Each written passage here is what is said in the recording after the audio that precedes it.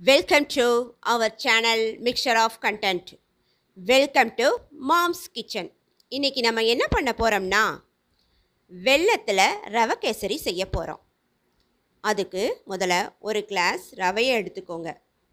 அந்த ரவை நூற்றம்பது கிராம் இருக்குது அதுக்கு முதல்ல ஒரு கடாயை எடுத்து ரெண்டு டீஸ்பூன் நெய்யை ஊற்றுங்க நெய் உருகிற வரைக்கும் நம்ம கொஞ்சம் வெயிட் பண்ணுவோம். நெய் உருகட்டும்.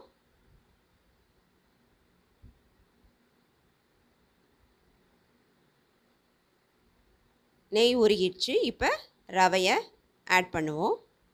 ஆட் பண்ணி ஃப்ரை பண்ணணும். நெய்லே ரவை நல்லா வறுக்கணும்.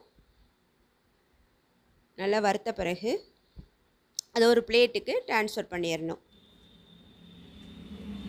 ட்ரான்ஸ்ஃபர் பண்ணியாச்சு. இப்போ அதே கிளாஸில் வெள்ளத்தை எடுத்துக்கணும். தலையை தட்டி எடுத்துக்கணும். அதை ஒரு கிண்ணத்தில் போட்டு அடுப்பில் வச்சு அதை கரையிற வரைக்கும் அடுப்பில் வைக்கணும். பாகாலாம் ஆக்க வேண்டாம்.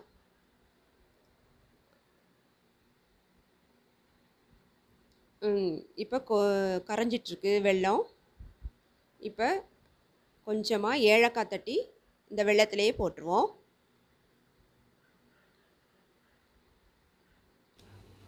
இப்போ வெள்ளம் கரைஞ்சிட்டு இதை வடிகட்டிடுவோம்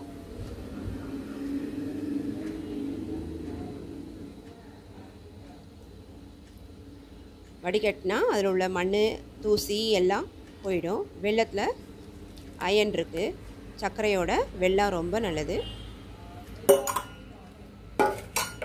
இப்போ வடிகட்டியாச்சு. வடிகட்டின பிறகு ஒரு மூணு கிளாஸ் தண்ணி எடுத்துக்கோங்க.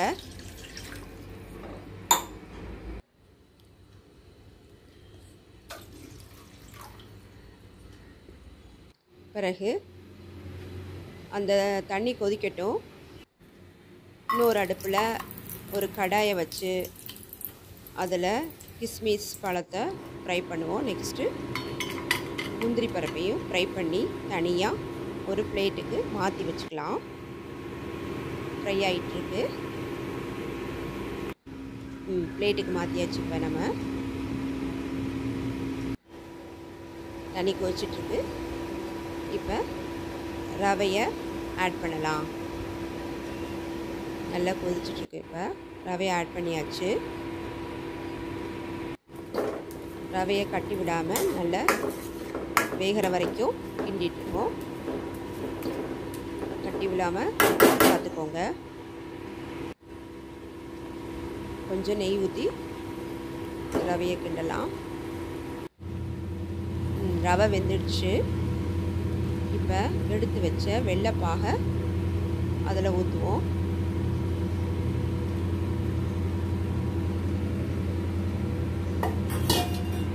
இப்போ இதை நல்லா தட்டி விழாமல் நல்ல அழுத்தமாக நல்லா கிண்டணும் நிறையா நெய் ஊற்றி நெய் ஊற்றி கிண்டிங்கன்னா ரொம்ப நல்லாயிருக்கும். அல்வா பத்துக்கு சூப்பராக வந்துடும் ரவை கேசரி. ரவா அல்வா கூட சொல்லலாம் இதை.